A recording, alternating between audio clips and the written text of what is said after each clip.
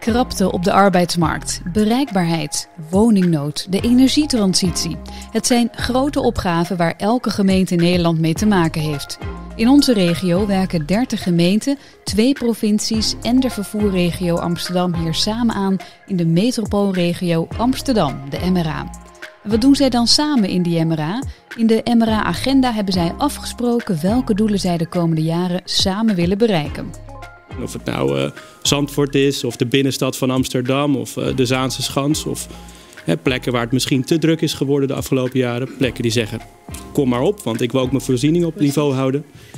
Ja, dat moeten we allemaal samen uitzien te komen als MRA. In de uitzendingen van Metropoolregio Actueel vertellen de betrokken wethouders en gedeputeerden hoe het ervoor staat, wat er al is gebeurd en wat op stapel staat. Een van de wensen van de metropoolregio is dat wij uh, toegroeien naar een evenwichtige regio. En uh, dat vraagt wel uh, één stip op de horizon met elkaar. We hebben natuurlijk wel ook afspraken al. In totaal zijn 14 uitzendingen gemaakt van elk een uur. Over mobiliteit en duurzaamheid, over toerisme en economie, over woningbouw en het landschap.